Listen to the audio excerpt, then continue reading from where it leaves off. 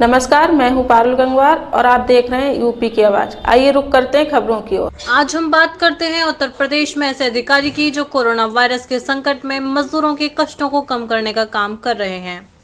ऐसे ही अधिकारी का नाम है रविंद्र कुमार, जो एडीएम प्रशासन बुलंदशहर में बुलंदशहर में हरियाणा से रोज सौ बसें आती हैं, जिनमें गरीब मजदूर होते हैं। एडीएम रविंद्र कुमार अपनी देखरेख में दिन हो चाहे रात हो सबको खाना खिलाते हैं, मेडिकल चेकअप करवाते हैं लेटरिन बाथरूम में सब सारी सुविधाएँ उपलब्ध कराते हैं। इसके बाद तुमको जहाँ जाना होता है, उनको रवाना किया जाता है। जहाँ एक और अधिकारी अपने घरों में बैठे रहते हैं, वहीं रविंद्र कुमार अपने परिवार की चिंता न करते हुए भी कोरोना वायरस की इस महामारी में गरीबों के लिए किसी मसीहा से कम नहीं है। अधिकारी को यूपी की आवाज़ नमन करती है। रविंद्र कुमार से जब पूछा गया तो उन्होंने बताया कि यह सेवा जारी रहेगी, कोई भूखा नहीं रहेगा और सभी का मेडिकल चेकअप होगा।